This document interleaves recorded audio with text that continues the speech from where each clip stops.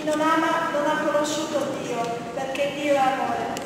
In questo si è manifestato l'amore di Dio verso di noi, che Dio ha mandato il suo Figlio unigenito nel mondo, affinché noi vivessimo per mezzo di Lui.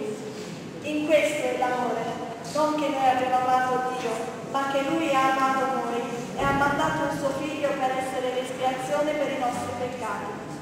Carissimi, se Dio ci ha amato in questo modo, anche noi ci dobbiamo amare gli uni gli altri. Di Maurizio Corucci, Dio è amore.